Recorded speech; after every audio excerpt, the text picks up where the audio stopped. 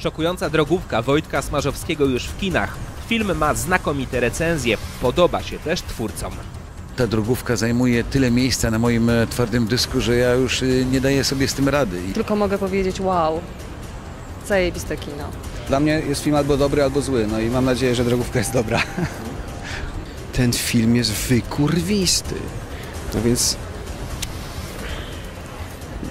To się ukaże, czy nie?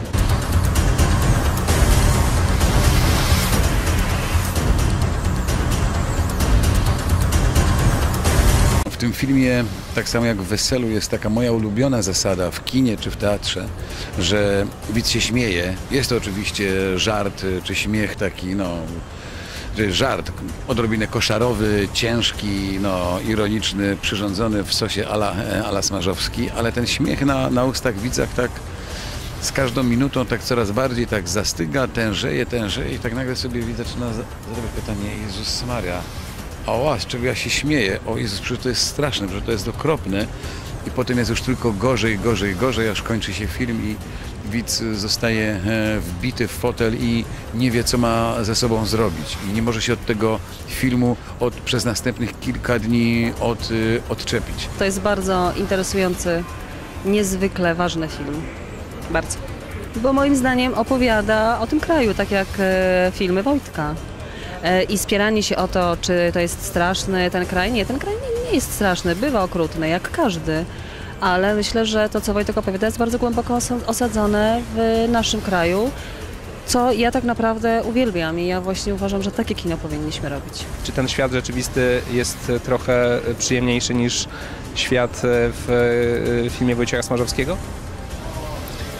Ja tam mam inny oczywiście y, widok za oknem, jak wstaję, niż, y, niż tutaj w tym filmie. Natomiast y, umówmy się, że ten okres transformacji trwa trochę dłużej niż powinien. No i dlatego ta Warszawa jest przedstawiona tak, że jest Polska w budowie. Z tych moich kilku filmów to ten ma największy potencjał komercyjny. To wynika z paru rzeczy. Z tematu, kto z nas nie, nie, nie jeździł samochodem, nie zetknął się z policją drogową, prawda? E, I też e, z formy, lże, nie, chcę mi przejść chyba przez, przez zęby lżejszej, ale, ale jednak tak, jed, jednak jest to taka dość na swój sposób lekka, nie, taka historia, która się zaczyna obyczajowo i komediowo, dopiero później staje się troszkę przyciężka, kryminalna przyciężka. To, czego nie było jeszcze w żadnym filmie Smarzowskiego, e, to jest od strony formalnej, no to są telefony komórkowe, kamery przemysłowe, kamery Go, GoPro. Nie wiem, 30% e, zdjęć w tym filmie e, to, to nie jest normalna kamera, tylko to są właśnie telefony e, komórkowe.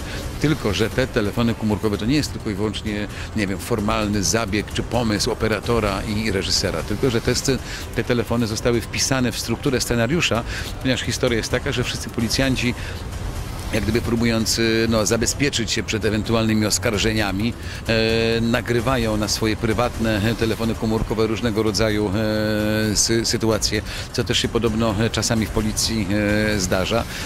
O co ci chodzi, jebany, co? Ale o co ci chodzi, co? Pusta droga jest, nie można kurwa jechać normalnie? Przyjacielu, nie kombinuj tutaj. Ale spierdalaj w ogóle. Wulgaryzmy są pewnym rodzajem ekspresji i Smarzowski ich używa bardzo precyzyjnie. To nie jest tak, że mm, bohaterowie używają słów po to, żeby ich używać tylko i wyłącznie, tylko w jakimś konkretnym celu.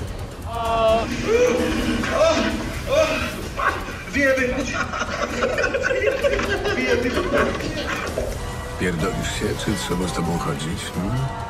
Jak usłyszałeś po raz pierwszy, że będziesz ty, Arek Jakubik, codziennie spoglądasz na siebie w lustrze, tak? I będziesz lovelasem, będziesz dążuanem, będziesz facetem, któremu po prostu żadna nie potrafi się oprzeć. Pomyślałeś, smażul przesadził, czy pomyślałeś, ten człowiek ma cudowną intuicję i zawsze chciałem kogoś takiego zagrać? e, przesadził i zawsze chciałem kogoś takiego zagrać. No, ja nie jestem typem e, kasanowy, no, ale dostałem na planie e, pseudonim mm, Latino Lover. Zawsze marzyłem o tym, żeby zagrać Latino Lovera i mieć e, cały świat kobiet u swoich stóp. W drogówce się udało. Ja mam ochotę zobaczyć ten film po raz szósty, bo go jeszcze nie rozumiem.